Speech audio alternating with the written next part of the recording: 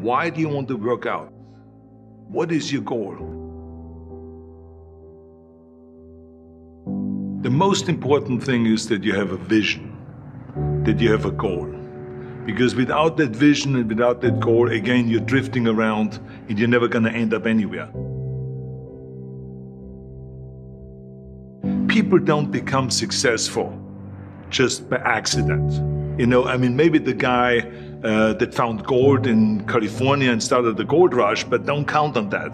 That's a one in a, in a lifetime kind of a situation. So you got to really have a specific goal. And to me, to have that vision that I want to be Mr. Universe, that I want to be the greatest bodybuilder of all time that was a great vision and that specifically to look like Reg Park and to be up there on that stage and to lift the trophy overhead and to win the championship over and over and over again. So that was a great goal. You have to have a goal. Now it doesn't have to be that specific goal, but it has to have some goal. This is why I always recommend to people sit down, take your time, and start thinking about why do you want to work out?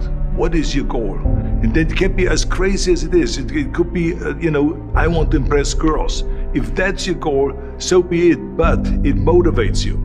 It could be that you're emulating a certain, uh, you know, bodybuilder or a certain football player, a certain boxer, whatever it is. Have those pictures put all over the wall like I did when I was a kid. I put pictures of Reg Park and of Sonny Liston, of uh, boxers and of Ali and of powerlifters and weightlifters all over my bedroom, uh, you know, uh, wall so that every day when I go to sleep, every day when I wake up, I look at those pictures and they motivate me. You need that motivation, and then therefore you have this kind of imprint in front of you all the time, and you know exactly what you're chasing.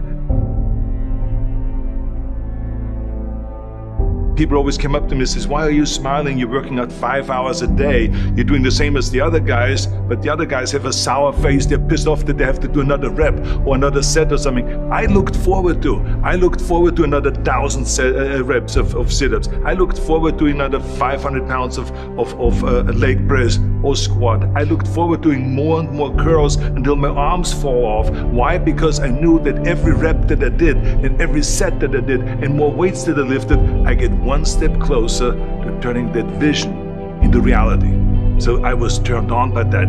I was excited. I couldn't wait to get to the gym.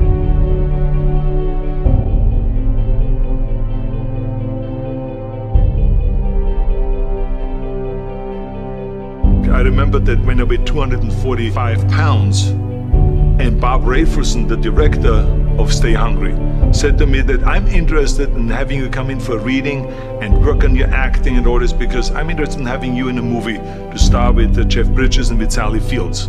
I was delighted about that and I was excited and I started pumping up more and more. And then he said, but I don't want you to weigh more than 210 pounds. You want me to be in the movie, but I'm weighing 245 to 46. I say, I just won the Olympia. I say in 19, which was 1974, and I was really at my biggest. And uh, but he demanded that, and he says, look, it's very simple. On the day we start shooting, he says, I'm going to put you on the scale, and if you don't make the 210, you're out, because I have someone else in mind.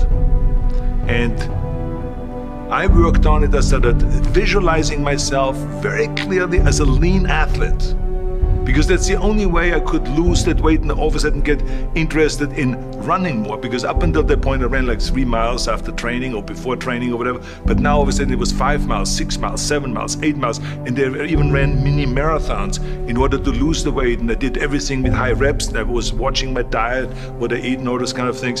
And but a day, the day before, I remember we went Birmingham, Alabama. The day before I was at the YMCA with Bob Rafelson. He was swimming and I was working out and I was running. There was a track there and I was running. He says, let's step on the scale. And I stepped on the scale and I weighed 209. So it just shows you what is possible if you visualize exactly what you want to look like.